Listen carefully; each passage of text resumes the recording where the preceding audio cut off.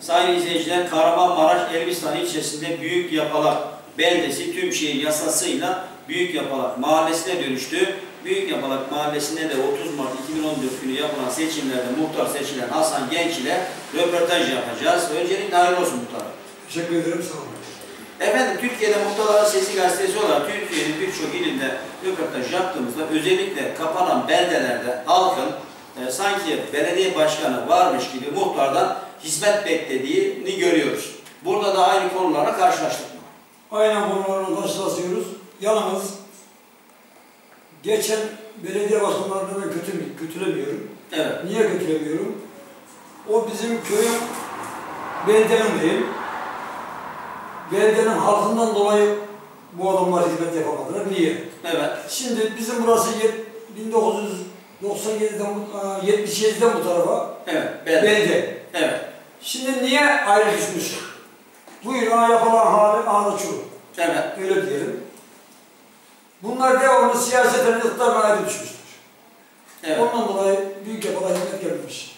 Yani hiçbir zaman iktidar partisinin belediye başkanı burada e, seçilmedi mi? Seçildi. Evet. Ama o adam da bir şey yapmadı, öbürleri de yapmadı. Diğerleri de yapmadı. Gelen de yapmadı, Evet. Altyapısı yapılmış mı muhtarım? Altyapısını gittim, Yapılmamış mı? İller Bankası'ndan yapıldı. Evet. Belediye başkanı var iken gitmiyordu. Belediye başkanından ben muhtar, öbür dönem de muhtardım ben. Evet. Daha önce muhtarlık yaptığınız mahalle, Evet, mahalle. ikinci dönemim benim. Evet. Belediye başkanını zor hakem karaya götürdüm. Evet. İller Bankası'ndan buranın altyapısına Allah razı olsun. Bayettin Kaptan diye İller Bankası'nda genel müdür yardımcısı vardı. Evet. İstekte bulunduk. Adam bizim isteğimizi yerine getirdi. Altyapımızı yaptı, verdi. Evet.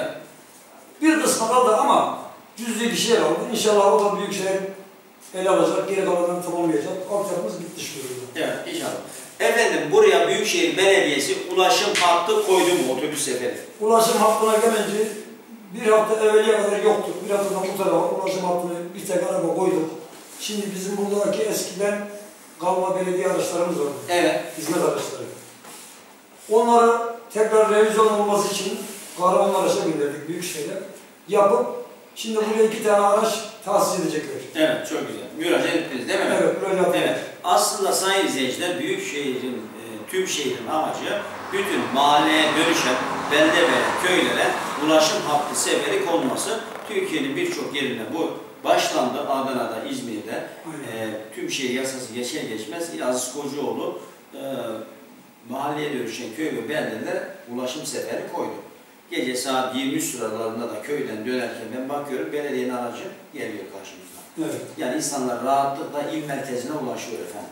Tek Evet. bir şeye de, değil mi efendim? Evet. Yani büyük tüm şehrin amacı bu. İnsanlara hizmet, yerinden hizmet, değil mi efendim? Evet. Ee, ulaşım da önemli. İnsanlarımız işe gidiyor sabah akşam evine dönmek zorunda. Onun için e, ulaşım olursa insanlar mesela burada beldede oturur. Şimdi bir araç Ulaşım olmazsa değil mi efendim? Merkezde oturmak zorunda kalır. Aynen öyle. Evet. Şimdi Buyurun. burada şu ana kadar bir haftadan beri tek araba hizmet veriyor. Evet. Şimdi bir hafta sonra çift aracı olacak. Çift araç geçecek. Artı ulaştırmadan gelecekler. Bunu Evet. arkadaşlar sağ olsunlar. Şimdi belediye talebe işleri okullar açılınca Evet. onunla bir saatini ayarlayacak. İki tane araç hizmet verecek.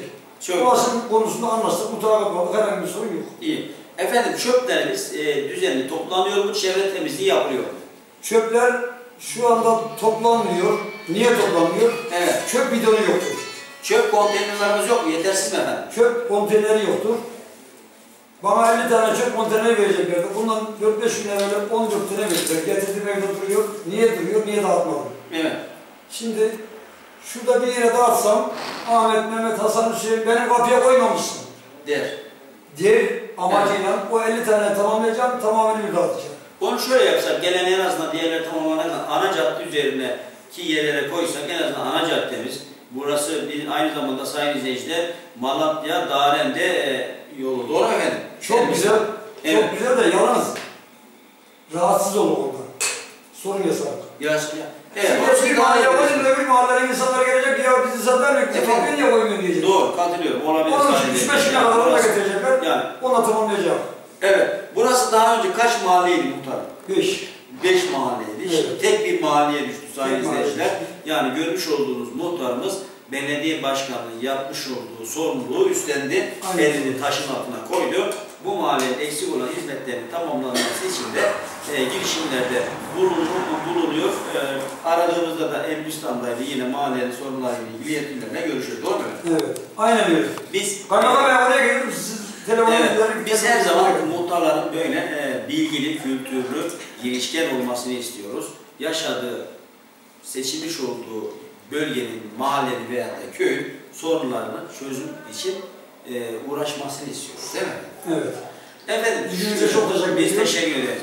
Efendim, e, bu mahallemizde gençlerimizin spor yapacağı alanlar yapılmış mı? Hayır. Çocuk e, Oyun tesis yok burada. Yok değil mi? Hayır, değil. yani belediye ne, ne yapmış? 37 yıl burada belediye görev yapmış sayın izleyiciler. Ancak muhtarımıza soruyoruz. Çok güzel bir konuya dayandım. Evet. Cevabını vereyim. Şimdi bizim, bizim burada demin de arz ettim. 1997'den bu tarafa belediye, belediye. Evet. Ee, şimdi 40 tane işçimiz var. Burada değil mi? Belediyede. 4 tane bağır bakanlarımız var. Evet. Belediye başkanının elinde, elinin altında olan. Evet. Bir tane sıfır kepçemiz vardı. Evet. Bu adam bir taşı kaldırdı bir tane koymamış. Ya bu 40 tane işçinin ancak Allah maaşını ödeyebiliriz sana. Hizmet yapmamış, maaş da ödememiş. Maaşlar da ödenmemiş. Atıyorum senin 2 milyar maaşın varsa sana 3-500 kart vermiş. Evet. Gene bana kalmış.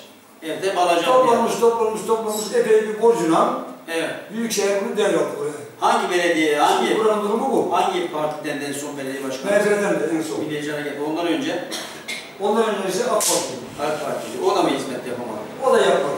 Evet. Evet sayın izleyiciler. Yani biz Maalesef bütün büyük yapılan halkı camiası biliyor. bu durumda. Evet. Ha, onun için ben muhtar adayı olmayacaktım. Bir dönem yaptım. Evet. Bu iş bana yaramaz. Köyün sorunu çok dedim. Köylü eve oturdu. Büyük kabile sahipleri beni zorla buraya muhtar ettiler. Ancak bu işi sen yapamışlar. Ben o açıdan Allah için hizmet yapmak için oldum buraya. Doğru söylüyor sayın izleyiciler. Biz Ben yapıyorum da Allah'a şükür. Evet. Büyükşehir'e çok teşekkürüm var. Evet. Şimdi bazıları diyor ki ne? Ya işte büyük şehrimize gelen yoktu. Hayır. Allah vekil konuşursam büyük şehir bizim sorunlarımızı gideriyor. Gidemiyor değil mi? Müracaat edersen, müracaat etmezsen Aynen doğru. çözmez sayın izleyiciler. Bazen muhtarlara soruyoruz, müracaat ettim. E müracaat etmedim Süleyman Bey. E o zaman müracaat etmezsen büyük şehirde gelip senin şu sorun oldu. Bilemez ki, bilebilir mi efendim?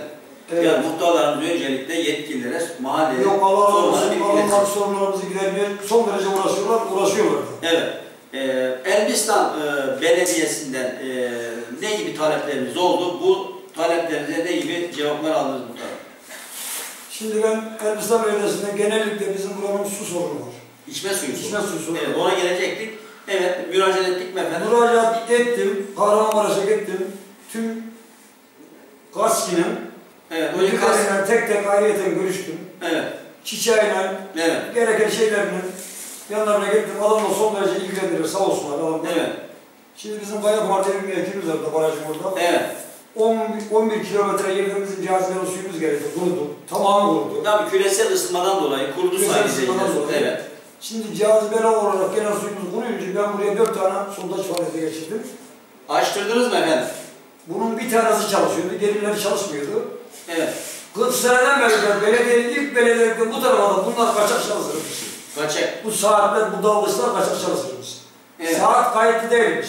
Ben şimdi tamamını bunların kayıtlı altına aldırdım. evet, çok güzel. Şimdi otomatik ödemeye bağlandı. Evet, Dalgıçlarımız da güzel çalışıyor. İçme suyumuzda herhangi bir sorun yok şu anda. evet sayın izleyiciler görüyorsunuz. Bak altyapımız ölü. Öyle değil mi? Altyapımız ölü. Şimdi bir tarafı yapıyorsak geriden iki gün sonra üç tanesi bir yeri yapıyor, üç yeri bozuluyor. Evet. Altyapının böyle olduğundan Sağlıklı şikayetler çok. Ama onunla da ilgileniyorlar. Evet, müracaat ettik. Onunla müracaat ettim, onunla da. Kaskiye. Evet. Evet. Efendim e, bu mahallemizin ara sokakları parke taşı yapılmış. Çok güzel bir konuya dayandı. Şimdi bizim burada altyapı geçen sene bitti. Evet. Durmuş Küçük belediye başkanımız, Evet. Hindistan belediye başkanımız. Evet. Seçime iki ay kala burada Evet. yüzeysel bir çalışma yaptı. Evet. Yüzeysel ulaştıramadı. Evet. Ama o yüzeysel de bize yetiyordu. O an için o yüzeysel de bize yetiyordu. Buranın ulaştıramadı, yarısı yapıldı, yarısı öyle kaldı. Şimdi kış günü burada gerçekten bir mahallede bir mahalleye gidecek Niye derken Tamam. altyapıdan dolayı Evet. mahallelerin birçoğu bozuk. Öyle duruyor. Şimdi işte kaymakam yanına gidecektim. Oradan da e, tekrar gazeteye gidecektim.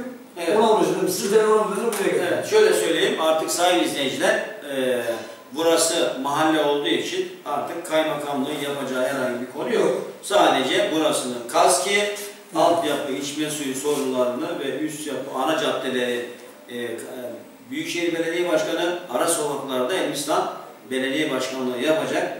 E, muhtarımıza müracaat edecek. Sadece kaymakamlık işte okullarımızın eğitim durumuyla ilgili Evet. ve halkın Evet. var. Evet, halkın, Onun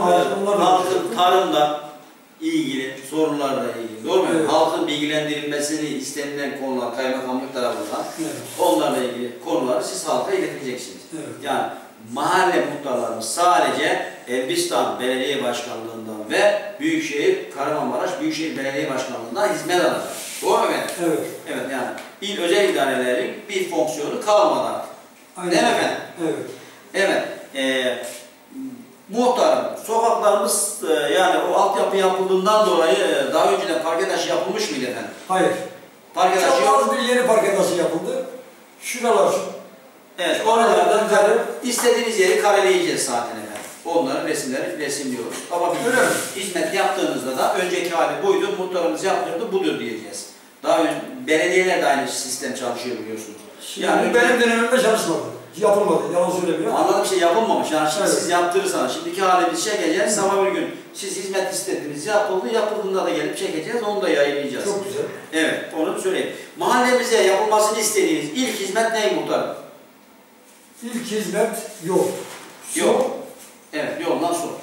İlk hizmet yol olsun. Suyumuz var dedi. Şimdilik Su sorunumuz yok. Yalanız var da yetersiz o suyumuz. Yet- Suların Var mı hizmeti içine yok mu taşıyor? O Yetersiz. cazibenin suyumuz gelmediği için Evet. her ne kadar da var diyorsam yetersiz geliyor. Evet. Ha şimdi da açılmalı mı diyorsun? Ermenistan'ın 22 tane köyüne tankerle su getiriyor. Allah'a şükür biz tankerle su getiriyor da Evet. yalnız dönemeçli olarak su veriyor. Evet. Şurada yukarıda en üst mahallede Buran Bursu Evet. var. Orada 15-20 tane eve 8 saat su veriyor. Evet. Burada 300 tane eve de 8 saat su veriyor. 24 saat içerisinde 8 saat veriyorsunuz. Doğru mu? 8 saat dönemeçli olarak su veriyoruz. Evet sayın izleyiciler yani bu ne demek? Ee, burada içme suyu sorunu var demek. Yani musluğu açtığımız zaman 8 saat su akıyor. 8 Diğer, saat, diğer saatlerde akmıyor. diğer saatte bakmıyor. 16 saat akmıyor. Aynen öyle. 16 saat akmıyor. Su eşittir hayattır diyoruz. Bu nedenle Aynen. e, Haski'yi içme suyu konusunda göreve davet ediyoruz. Yeni sondaj veyahut da yeni kaynaklar temin edilerek e, bu sorunu çözmesini istiyoruz. Zaten belediyeler e, insan odaklı, insanların yaşam standartlarını nasıl yükseltiriz diye mücadelede kuruluşlar. Kahramanmaraş Büyükşehir Belediye Başkanı'nı da e, tebrik ediyorum. Bu, muhtarlarımıza broşür yapmış, dağıtmış. Büyükşehir Belediyesi'ne alınacak hizmetler şunlar, ilçe belediyesinden alınacak hizmetler bunlar. Doğru mu? Evet. Evet. Evet muhtarım, eklemek istediğiniz başka bir konu var mı? Eklemek istediğim de şimdilik bir şey yok. Evet sayın izleyiciler, Kahramanmaraş. çok teşekkür ediyorum. Evet biz teşekkür ederiz. Bağırmasın. Geldiğiniz için çok teşekkür Teşekkür memnun oldum. Ee, sayın izleyiciler, Kahramanmaraş Elbistan ilçesi Büyük Yapalak Mahallesi Muhtarı Hasan Genç ile röportaj yaptık. Kendisine bu yeni döneminde başarılar diliyoruz. Teşekkür ediyoruz. Biz teşekkür ediyoruz.